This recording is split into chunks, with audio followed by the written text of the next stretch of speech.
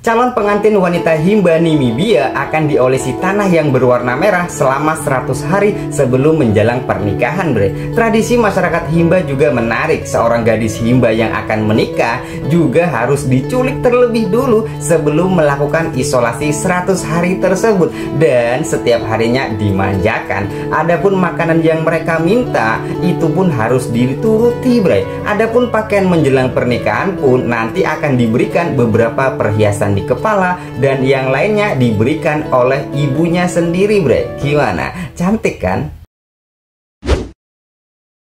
di tempat kita, batu akik dijadikan azimat kepercayaan diri bre. Di Tionghoa, ternyata sampai sekarang masih ramai dengan batu akik tersebut. Cuman beda fungsinya. Yang mereka cari adalah sama halnya dengan kita adalah motifnya. Entah itu terbentuk dari fosil apa Yang penting mereka bisa membentuk menjadi hiasan dinding bre. Bahkan diukir menjadi sebuah lukisan 3D masih nggak? Kalian menyimpan batu akik nanti supaya bisa dijual lebih mahal bre. Ternyata malah sekarang di tempat kita hampir tak berharga. Kalau iya berarti sama dengan saya bray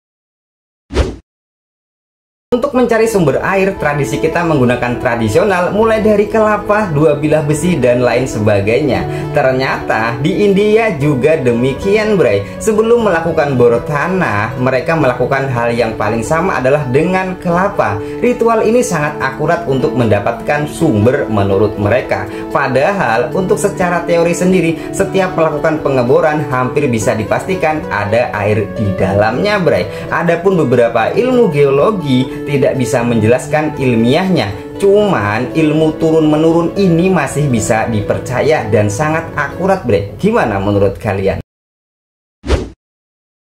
Apakah rumahmu sering kemasukan burung sriti, bre? Konon katanya ketika burung sriti masuk rumah, ia akan membawa kekayaan kepadamu, bre. Selain rezeki, kehadiran burung sriti juga kerap disebut sebagai pertanda datangnya tamu di rumahmu, bre. Tamu ini adalah sosok yang tidak biasa dan kedatangannya menjadi sesuatu yang baik untukmu, bre. Sayangnya, arti burung sriti masuk rumah juga bisa menjadi pertanda buruk. Kedatangannya mungkin adalah pertanda bahwa ada makhluk gaib di rumahmu bre. Makhluk gaib ini mungkin wujudnya adalah hantu, jin, atau setan bre Konon katanya ya ini hanya mitos sih. Ya kepercayaan orang zaman dulu lah. Kami akan selalu berbagi ilmu dan hal unik. Bukti support kalian, tekan tombol subscribe dan notifikasi loncengnya